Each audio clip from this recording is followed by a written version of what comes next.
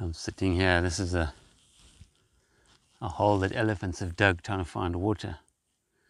But uh, the water's a long way down now. No, it doesn't look like they found any. So last night, which was chilly, for some reason last night was extra chilly. And um, I was just changing, it was dusk, and I was just changing from my day camera to night camera, changing tripods, putting up lights. It's a bit of a rigmarole. I was busy doing that, and I heard impala snorting to the north. I was on the river, so it was about half a kilometer north of me. So I went up there and I saw the herd of impala and they all ran away, but there was one male that stayed behind and he was shouting and looking to the right. And there I saw two jackals taking on a female impala and they'd already bitten her ear and it was bleeding badly and, and on her bum. And the two of them were working together, one at the front, one at the back, and going for her. And it was it was pretty gruesome. And you know, if you if you aren't into anything gruesome, please don't watch this. Don't watch any further. But it's interesting to watch it to the end to actually see what happens.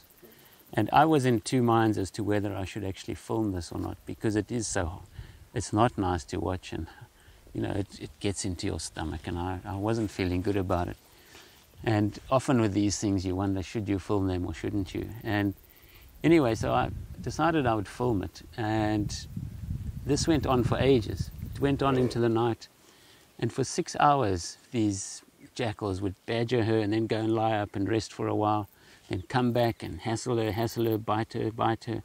And she would just keep butting them away. Um, and eventually, um, she was standing there and it seemed like the jackal had moved off. I heard them calling and they were quite a ways off. And she stood there for about an hour and a half. She didn't move. Her legs didn't move at all, just her head moved a little bit from side to side. And after about an hour and a half, I was watching in the moonlight. The moon is half full, so it's quite a bit of light. And the next thing, it was as if somebody had slapped her on her backside. She just took off, and she was gone. And I, I tried to follow. I couldn't find anything. There was no sign of her. There was no sign of jackals. So I waited in the area and I waited. Then I heard impala snorting. So I went over there and I found a lion and a lioness. And they were hunting impala.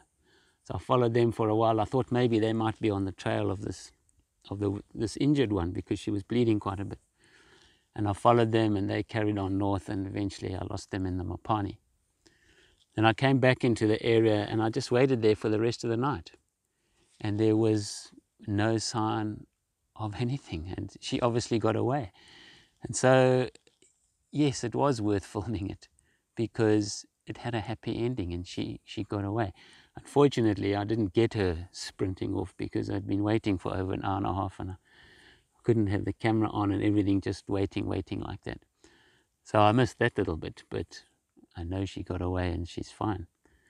Um, and yeah, I think it was became too much for the jackals. They called for reinforcements, but nobody came. And uh, the impala got lucky, and uh, maybe she will survive, but she is in a bad way anyway because of her condition. She's got mange. If you look on her side, she's full of mange. So maybe um, she's going to succumb anyway sometime. But for now, she got away. Lucky Impala.